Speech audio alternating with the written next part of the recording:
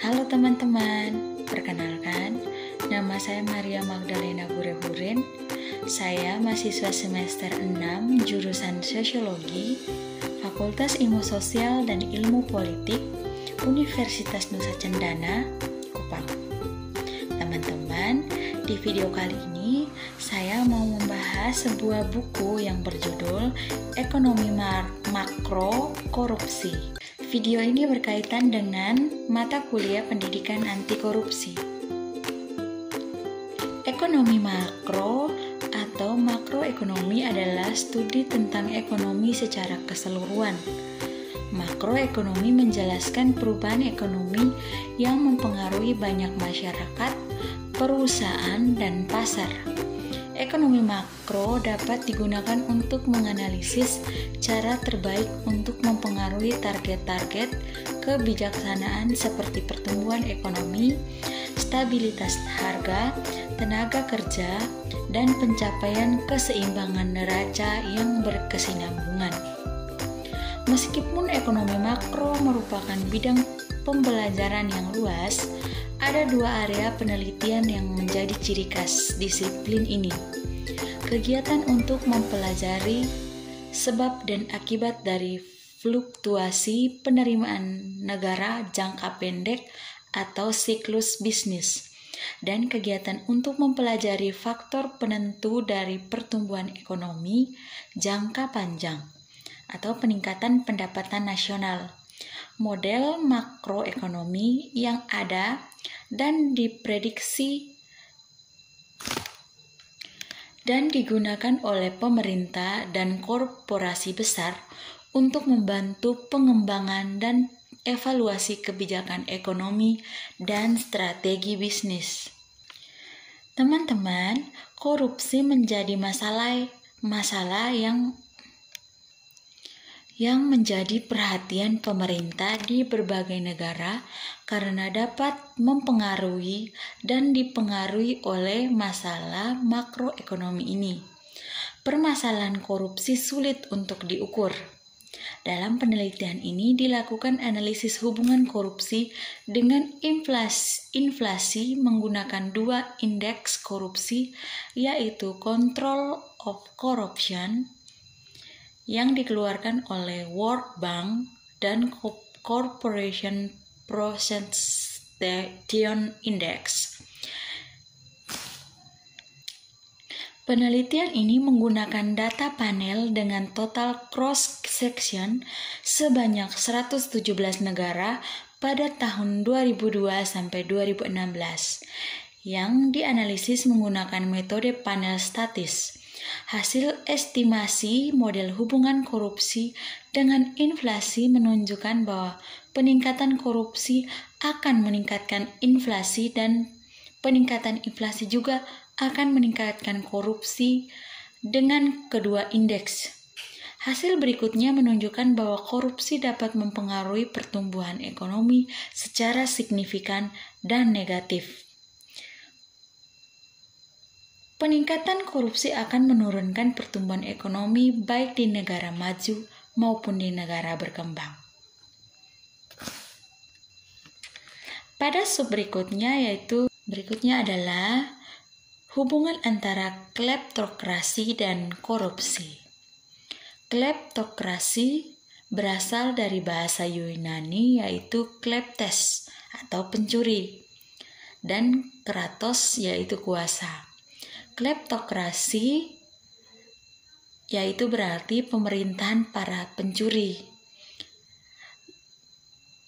Yaitu kleptokrasi yang biasa disebut dengan pemerintahan para pencuri adalah istilah yang mengacu kepada sebuah bentuk pemerintahan yang mengambil uang pungutan atau pajak yang berasal dari publik atau rakyat untuk memperkaya kelompok tertentu atau diri sendiri.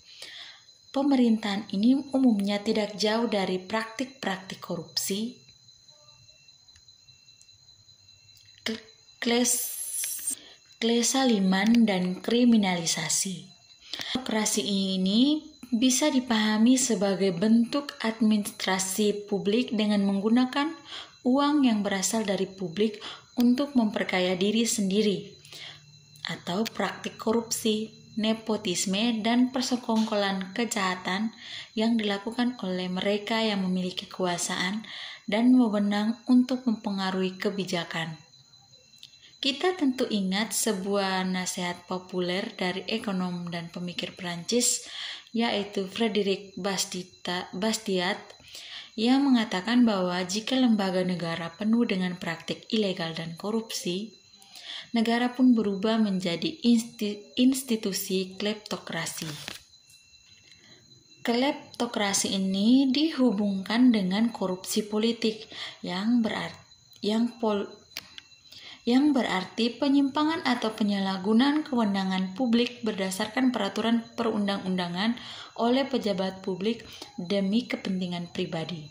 Lingkup lingkup korupsi politik sendiri mencakup antara lain suap menyuap, jual beli pengaruh, patronase, kecurangan pemilu, gratifikasi, penggelapan, pemufakatan kejahatan, dan keterlibatan dalam kejahatan terorganisasi. Aktor dari korupsi politik bisa saja badan hukum partai politik atau parpol, pengurus dan kadar parpol, anggota legislatif, calon atau kandidat legislatif dan eksekutif yang diusung parpol, dan pelaku wisat bisnis atau swasta. Korupsi politik akan menjadi momok krisis di sebuah negara dan menjadi, menjadi penyebab krisis di bidang-bidang lain karena biasanya dilakukan oleh orang-orang yang memiliki kekuasaan politik.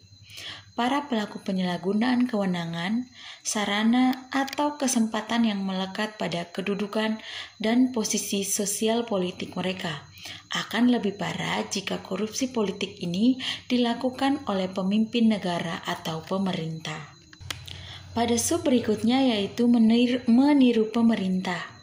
Setiap penilaian pemerintah harus dipandu oleh beberapa kriteria yang mende mendefinisikan secara baik. Misalnya kami mengambil pendekatan pragmatis untuk masalah ini berdasarkan prinsip kebaikan tata kelola yang, yang diterima secara luas atas dasar keadilan dan efisiensi. Pertama, satu, fokus pada kepentingan nasional. Pemerintah harus seharusnya tidak menjadi kendaraan untuk mendistribusikan kembali pendapatan kepada pejabat publik atau kepada sekelompok kecil pendukung pendukung mereka. Mengingat sifat egois yang melekat orang melekat pada orang, terutama ketika ditempatkan di posisi kekuasaan terutama ditempatkan di posisi kekuasaan. Menjaga fokus pada kepentingan sosial bisa menjadi tantangan ter terbesar dari pemerintahan yang baik. Yang kedua yaitu efisiensi penggunaan sumber daya. Kebijakan yang memaksimalkan output total dengan mempromosikan efisiensi penggunaan sumber daya harus diberi prioritas tingkat dan alokasi investasi pemerintahan harus efisiensi secara produktif diarahkan ke proyek dan lokasi di mana tingkat pengembaliannya paling atas. Ini juga berarti pembuat kebijakan harus berusaha meningkatkan pendapatan dengan cara tertentu yang meni yang minimina, minimal efek negatif pada aktivitas produktif. Berikutnya yaitu membatasi kesenjangan ekonomi. Harus ada kecenderungan untuk membatasi disparitas yang besar dalam konsumsi dan untuk menyamakan peluang untuk sukses sukses ekonomi.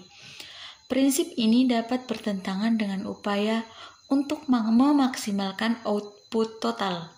Ketegangan efisiensi kuital harus menyebabkan pembuat kebijakan fokus pada penyeta, penyetaraan hasil ekonomi dengan berinvestasi dalam produktivitas rumah tangga yang diunggulkan daripada sangat bergantung hanya pada mendistribusikan kembali pendapatan. Sekian penjelasannya. Semoga bermanfaat dan terima kasih.